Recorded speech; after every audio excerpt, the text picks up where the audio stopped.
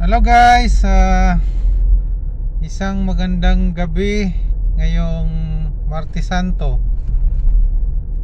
At, ah, sa oras na 8:16 andito pa tayo guys sa area ng ah, Tagig.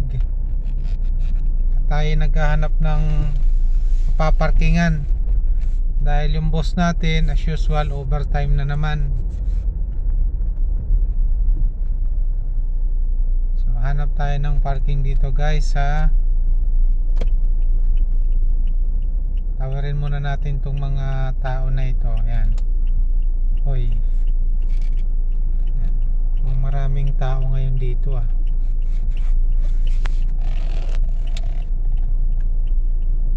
Maraming nakaparada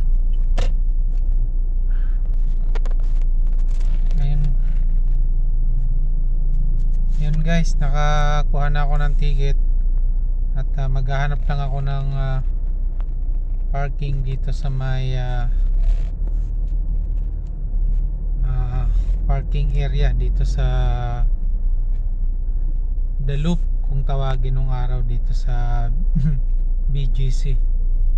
So, ang daming sasakyan dito. So, ang ibig sabihin eh Maraming tao.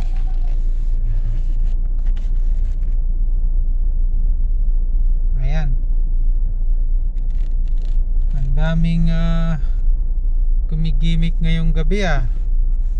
Akala ko ba siguro mga Miyerkules Santo pa ito mga ito mag-uuwian. Oh, walang bakante anong oras na? Mag-aalas 9 na.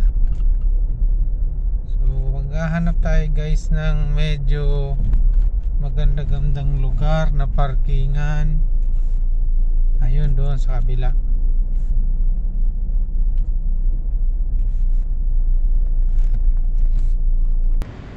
Ah, so yun guys nakaparada na ako nakahanap na ako ng aking ah, paparkingan. Ang tataas ng building dito rin pala sa BGC oh.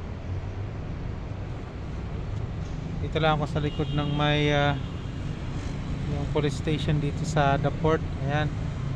May kulay green na yan na bintana police station yan. So sila nakakasakop dito sa ah, buong area ng ah, BGC so yun. Maganda, maganda na dito guys pagkagabi. Ayan oh. marami nang bukas na ilaw sa mga building. Sabihin talaga yan eh ano na? Back to normal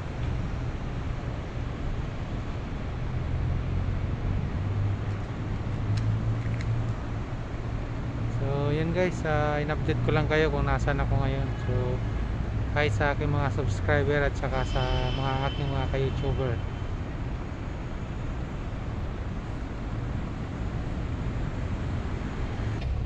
So yan guys, hanggang sa muli. Maraming salamat sa pagsuporta sa ating pang palaging mga ina-upload na video. Ingat.